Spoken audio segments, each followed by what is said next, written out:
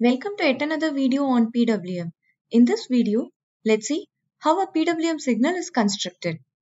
Let me illustrate this by generating a PWM signal of 5 kHz with 50% duty cycle. I have the Simulink model configured for F28379D launchpad and I have added EPWM block. Let me open the block parameters. To configure the frequency of the PWM signal, I have two options here in the timer period units. One is seconds and clock cycles. If I choose seconds, I can directly provide the time period of the PWM signal which is 1 divided by 5 kHz which is equal to 200 microsecond here in the timer period parameter. By entering this, I have configured the PWM frequency. Now, to set the duty cycle, let me navigate to the counter compare tab where CMPA that is compare A register is used to configure the duty cycle. Again, I have two ways. One is by choosing percentages or clock cycle. By choosing percentage, I can enter 50 to set the duty cycle of the PWM signal. This is straightforward, but configuring the PWM frequency and duty cycle with the help of a clock cycle is always recommended. Though you enter the PWM frequency and duty cycle in terms of seconds and percentages, internally the controller operates in terms of clock cycle. So let's see how to do that. Before that, let me introduce some variables used here in this calculation. The PWM frequency is 5 kHz and hence the time period comes to 1 divided by 5 kHz which is 200 microseconds which I have represented it by TCTR. We know that each peripheral runs at its own clock and the EPWM clock frequency is 100 MHz. That is, the time period represented by TBCLK is 10 nanoseconds. You can refer to my previous video on how to set the EPWM clock frequency. Now, navigating to the documentation, you can calculate the TBPRD value based on the count mode, whether it is up, down or up down.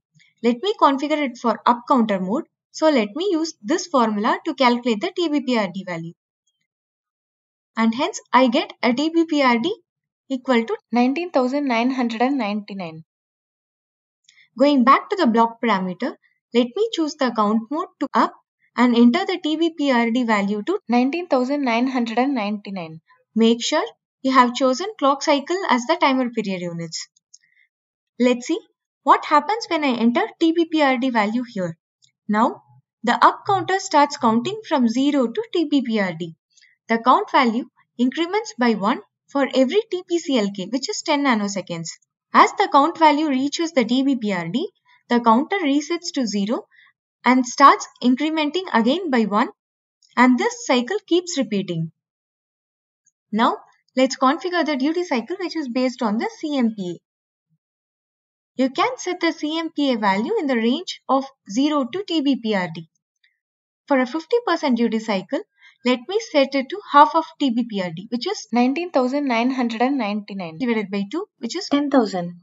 Having set these values here in the configurations, let's now come to the final construction part. This construction is configured here in the EPWM A tab where you can set the action. You can set the action when counter is 0, counter reaches CMPA, counter reaches period. And you have the options to set, clear, toggle or do nothing. And depending upon the action you choose, you can generate different PWM signals. Say for example, I have cleared the signal when the counter is 0 and I have set the signal when the counter reaches CMPA value and I have cleared the signal when the counter reaches period. By this way, I'd be able to generate the PWM signal that is shown here.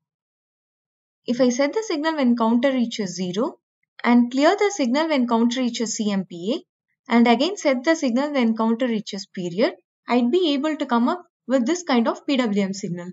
So by varying the CMPA value, you'd be able to change the duty cycle of the PWM signal. For simplicity, I have explained it with the CMPA.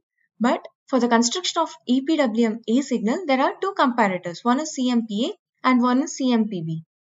As there are multiple types of PWM like leading edge modulated signal, trailing edge modulated signal and pulse center to edge modulated signal, depending upon the type of modulation, you can set the values of CMPA and CMPB and select the action you want to perform. By this way, you would be able to generate different PWM signals for your application. And again, I have explained this for up counter. You can either choose down counter or up down counter. In down counter, the counter initially loads with a value of TBPRD and counts down to 0 and when it reaches to 0, the counter again resets to TBPRD value and decrements by 1 and the cycle keeps repeating. When the count mode is set to up down, the counter is initially loaded with 0 and the count value keeps incrementing by 1 until it reaches to TBPRD and then starts decrementing by 1 until it reaches to 0 and in between it checks for the CMPA and CMPB value and depending upon the action that you have configured the PWM signal will be generated. So this is how a PWM signal is constructed. Thanks for watching this video.